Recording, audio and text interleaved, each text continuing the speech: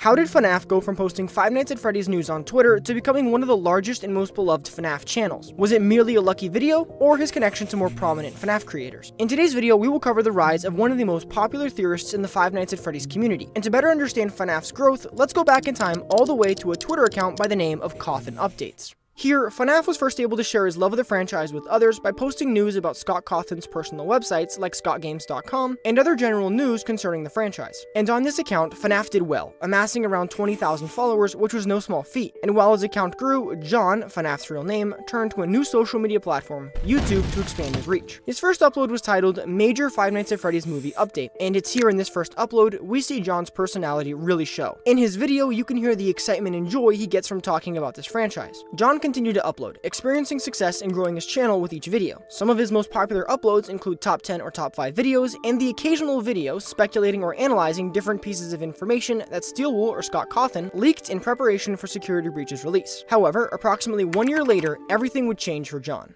As a FNAF fan, the month of June in 2021 was one of the most chaotic months for the franchise. It was in this month that Five Nights at Freddy's creator, Scott Cawthon, would be caught in a controversy that seemed to divide the fan base like never before. People had found evidence that Scott had donated funds to Republican politicians. Some of the politicians Scott donated to have policies or wish to enforce policies that oppose the LGBTQ community. So with FNAF having one of the most diverse and inclusive communities, these donations split the community in half and would cause Scott to retire officially and step away from the franchise he created. In his retirement, the website, scottgames.com, would go dormant, and John was now faced with the challenge of what to do next. So, did he give up? Walk away from his channel?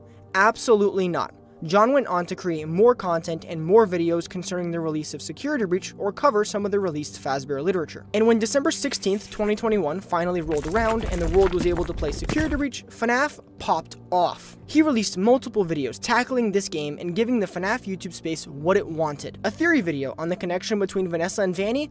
Boom. The connection between Gregory and the Crying Child? Boom. A theory video explaining where Glamrock Bonnie is and that is currently his most viewed video? Another boom. But do you notice the connection between these three videos? They are all theory videos, and they show another side of Fuhnaff. You see, John's audience got to see something different from the FNAF updates guy. They saw John attempting to put together the pieces of FNAF's lore, and nine months after his Gregory video, John would release one video that would completely change the course of his channel. The video was titled, I Solved FNAF Security Breach, and to this day it remains one of the greatest videos a FNAF content creator has ever made in my opinion. In this video, John presented his theory in one of the most comprehensive and entertaining ways the internet has ever seen. From the pacing of the video, John's presentation, the discoveries made, heck, even the background music was immaculate. John could have told us that Garten Banban was crossing into FNAF, and I would have believed it, which is the point. John had found something successful, and don't just take my word for it, the video currently has 1.6 million views, and it's for a good reason. It's a good video. So, it should come as no surprise when I tell you that Fuhnaff made a part 2,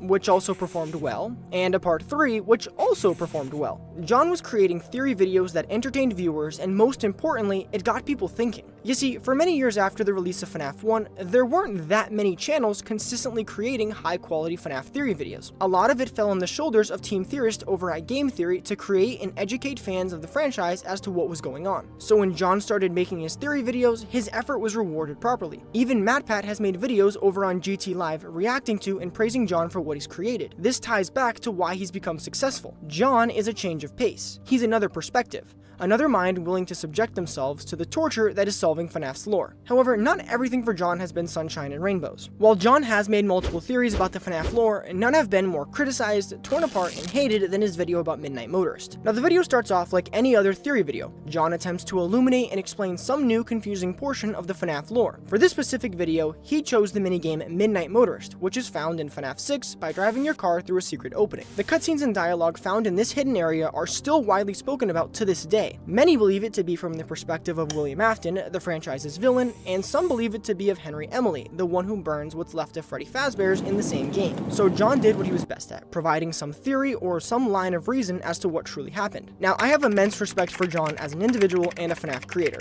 but even I have to admit that this theory was uh, a little much. It took certain liberties and made a few leaps that I didn't follow, but it was a theory at the end of the day. Certainly, people would just see it as a theory and move on with their own opinions right?